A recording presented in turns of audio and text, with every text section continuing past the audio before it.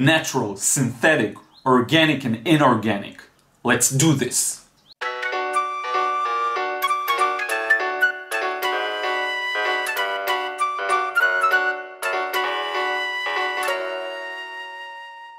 What's up friends, thank you for joining me in another video. Welcome to the third episode of The Paint Show. In this episode I decided to take a short break from presenting tubes and talk a bit about the different properties of pigments, mainly these uh, four ones I just mentioned, okay? So when you look at pigments, you have basically uh, two criteria. The first one is natural or synthetic, and the second one is organic and inorganic, okay? These are the two different switches that you can play with and get different combinations. So this gives us mainly four combinations and we're gonna go over them one by one and I'm gonna give some examples so you better understand them and how to know what your paint is basically made of.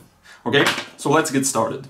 So the first combination I want to talk about is natural inorganic. Now, these are usually made out of metal or earth components, mainly minerals, and this is why they're inorganic and they're natural because you just they use the the component itself as it is. So you harvest the metal or the earth and you just grind the components into a uh, pigment into a powder. Then you mix it with a binder and all the rest of the ingredients and you get a paint. Now these are rarely in use today because of two main reasons. One is that they're uh, really expensive and hard to harvest. You actually need to grab, take out the minerals and then grind them and work with them directly. The second one is that the results aren't so good. Uh, the pigments are weak, they're not too strong, and so there are just a lot of downsides, and these are not really that much in use today.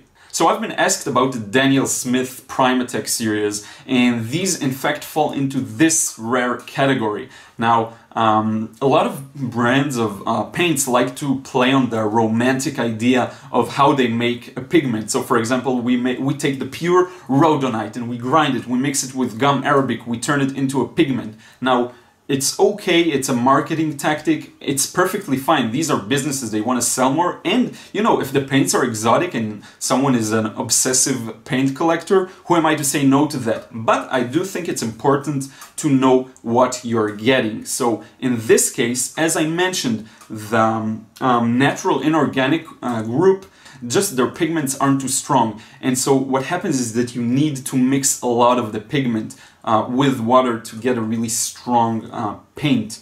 Okay, so just so you know, uh, the tube may not last for so long. This one specifically is not a Primatek, just showing it as an example. The tube may not last, last so long because you need to use a lot of it to produce strong, uh, vibrant pigment.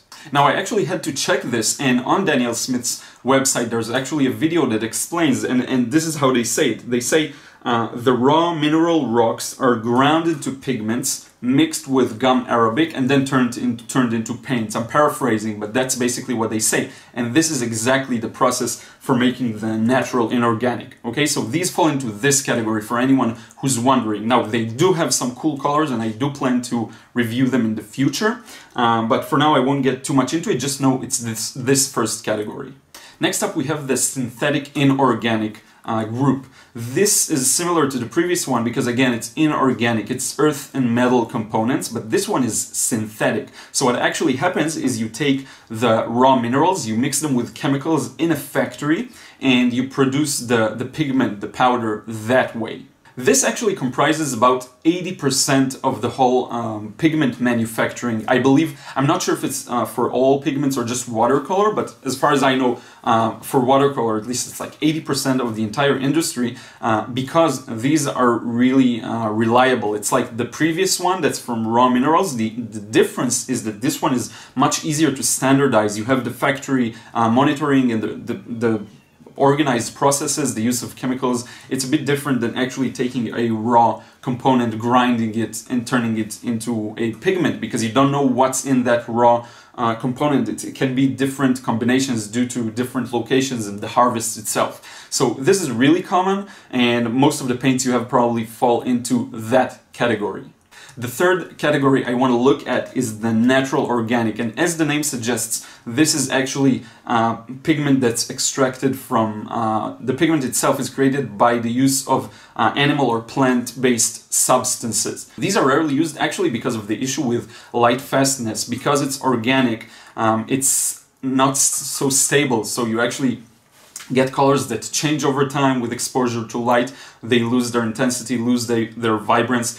Their pigment actually may change over time. So this is what you get uh, with the um, natural organic, and so it's really rarely used.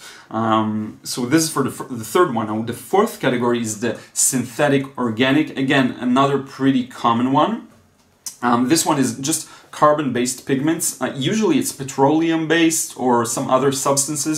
The thing with these ones is they mimic really well the natural organic plant or animal-based uh, substances, but they do have a bit more stability to them, um, which allows the which eliminates the light fastness issue basically. So next up I want to talk a bit about the constitution number and I have this great way to transition into it. So I've been asked a lot about quinacridone and how can it be that it's uh, present in so many different uh, paints. So you have quinacridone gold, quinacridone rose, more common, uh, all of these ones. So that's the thing, that quinacridone is just an organic molecule and it can be used in many different paints. Now, due to, it common, to its commonality of being used in so many pigments, it just took sort of the marketing name. So you actually have pigments that are called quinacridone rose, quinacridone gold, quinacridone red.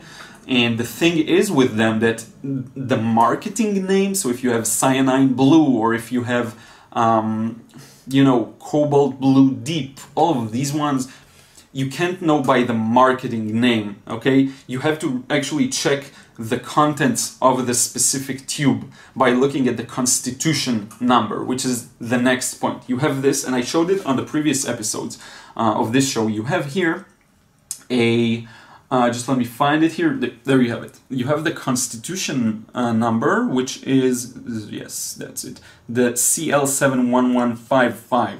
Hopefully you can see it. Sorry about my hands moving a lot.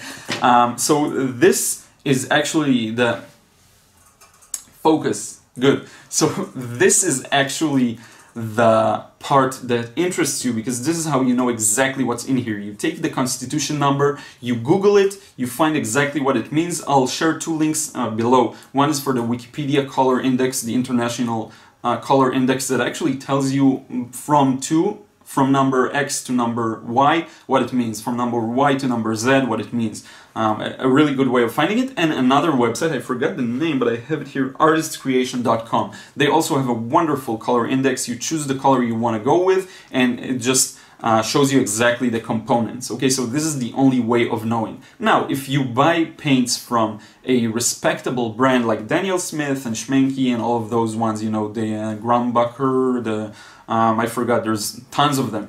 Um, Winsor Newton. So if you buy them and you go for the basic ones, say ultramarine blue, uh, quinacridone rose, all the really common ones, you know you're probably getting what you should be getting, okay? But if you're buying from uh, cheaper brands, maybe the Cotman series and the Winsor Newton, maybe it's a good idea, you know, to make a smarter decision and actually look at the contents of the tube because sometimes to make cheaper paints they mix different cheaper mixtures your uh, paint is diluted you know all of the, these things that are okay they can work i used cheap colors for a long long time uh, they can definitely work but it's always better to know what you're buying Okay?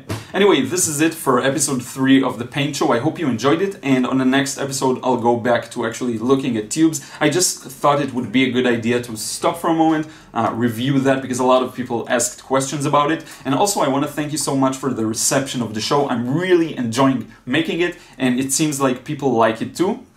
So that's a win-win.